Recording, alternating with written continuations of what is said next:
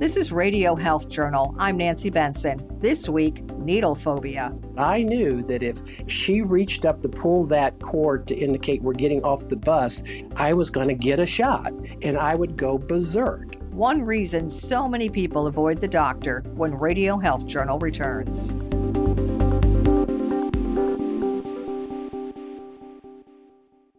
I'm Reed Pence, the producer and host of Radio Health Journal.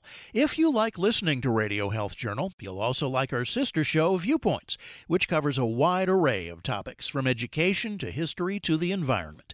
Here's a preview of what they're covering this week on Viewpoints. I've made more friends through Peloton than any other, I'll call it, institution in my adult life. The appeal of at home fitness. Then, there is no universal single time for anyone to know. What time it is is going to depend on everybody's individual location and personal history, how they've been moving around. The intricacies of time. I'm Marty Peterson. And I'm Gary Price. These stories in depth this week on your public affairs magazine, Viewpoints. Listen to Radio Health Journal and Viewpoints on your favorite radio station. And subscribe and listen anytime on Apple Podcasts, Google Play, and Spotify. Also, follow us on Instagram and Twitter at Radio Health Journal.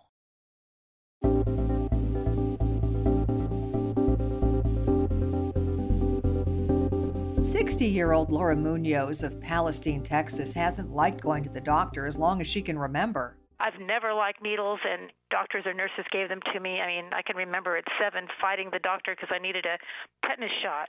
And I had a big fight, and I got the tetanus shot. That's not unusual. Most children are afraid of needles, and that's a problem in the age of COVID 19 when shots are as important as they are now for everyone. But for a lot of people, the fear doesn't go away when they grow up. Laura's one of them. She says on a scale of 1 to 10, her needle phobia is about an 8. I had some surgery as an adult and I had some tubes into for drainage for my abdomen and one of the tubes fell out. And anyways, the fluid built up in my abdomen and the doctor said, "Well, I'm going to have to stick this long needle in to remove that fluid and then we're going to have to reinsert the drain. And oh i said oh do you have to? And it didn't hurt but it was awful. It really was and the needle was really long. They start squirming around in the chair and such or they'll just ask the question. Many of them or probably most of the adults don't acknowledge it but you can see by their body language, the look in their eyes, or just the way they position themselves, that they have this underlying fear of that. And they'll ask, Are there any other alternatives? That's Dr. Gary Leroy, a family physician in Dayton, Ohio, and former president of the American Academy of Family Physicians. He's very familiar with needle phobia, both in his patients and himself, and how it often starts with a bad experience in childhood. I used to love getting on a bus with my mom and going downtown because we'd get to shop and eat at restaurants. But I knew that if she reached up to pull that cord to indicate we're getting off the bus in front of that red brick building, that I was going to get a shot and I would go berserk. And then my mother would practically have to drag me or carry me to the basement of the City Hall building to get my vaccines. And that innate fear of needles just stayed with me. And so, yes, I looked the other way. Leroy says that's what a lot of people do when facing an injection swallow hard and look the other way. You may be surprised who Leroy says squirms the most. The bigger they are, the worse they are for the most part. Men tend to, at least in my practice, the big burly men tend to be most fearful, although they may not acknowledge it, but they're the more fearful of individuals with kind of needle phobias. While you may hear about people who have to be held down to get a shot, Leroy says that seldom happens, at least with adults. Those who are that badly needle phobic usually just get up and walk out instead. Even if you could give a vaccine with a needle and there was 99% assurance to the individual receiving it that it would not hurt, about 10% of adults still would not take that vaccine. But when you're a child, probably about two thirds of children into their adolescence have this needle phobia, when in lessons to about a third of adults. But still, there are individuals that no matter what, just the looking at a needle, some people can have these near faint or faint episodes uh, just from you know somebody pulling out a needle People can faint. Some are so fearful that it can result in seizure activity. So it's not a benign thing for some individuals. Leroy says for a few people, the power of needle phobia seems so visceral that it fuels an opposition to vaccines overall, and it's one reason some people oppose COVID vaccines. However, we may never really know how many people have needle phobia. Those who have it most severely simply avoid the doctor without ever saying why, and often suffer health consequences. But even those who are merely uncomfortable getting an injection may pay a health price. Leroy is most concerned about people with diabetes. Laura Munoz, for example, she was okay as long as her doctor could treat her diabetes with oral medication. But then those drugs stopped working. She needed to switch to insulin injections. So if someone else, if a doctor or a nurse were to give me a shot, if I look away and don't watch them do it, I'm okay with that.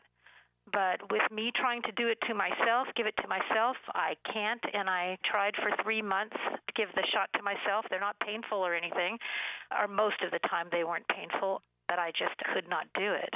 And I was going to my neighbors and my friends and my boyfriend saying, you know, hey, can you give me this shot because I can't do it? And I would always try myself because I don't think it's their responsibility to give me a shot. I think it's my responsibility. Fortunately, Munoz's boyfriend says he'll help with injections as long as she needs them, but not everybody has a helpful significant other. Leroy says sometimes it takes a doctor doing some homework to find alternatives to injections, things like jet injections and transdermal patches. Needle phobia websites say many people complain that doctors are often less than sympathetic, as if somebody can just get over it. Leroy knows that's not true because he has diabetes too and had to work at treating it. He kept telling himself that injections beat taking lots of pills, but he says if doctors and parents were better about how they talk to their kids about injections, needle phobia might never take hold in the first place parents should not lie to the children and tell them that it won't hurt. They need to be truthful about what is happening and that they love them and this is not a form of punishment for them. I mean, some of your listeners, I'm sure, have been in the doctor's offices and heard children screaming and crying because they got their vaccinations.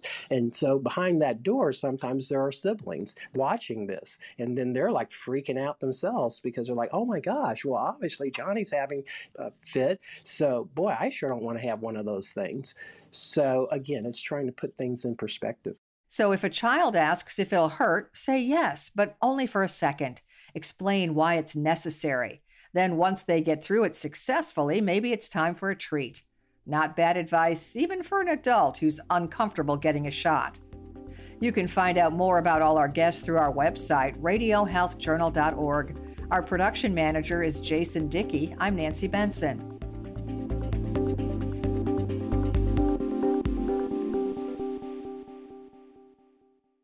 Coming up next week on Radio Health Journal.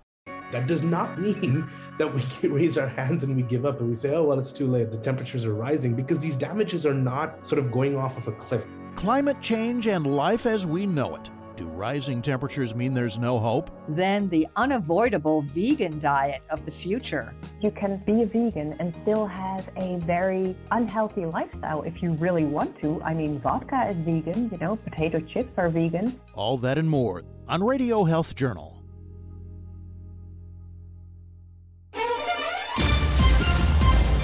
And that's Radio Health Journal for this week. Follow us on Twitter, Facebook, and Instagram to learn more. And check Apple Podcasts, Google Play, and Spotify for a library of past programs. Plus, you'll always find previous segments and information about our guests at radiohealthjournal.org. Join us again next week for another edition of Radio Health Journal.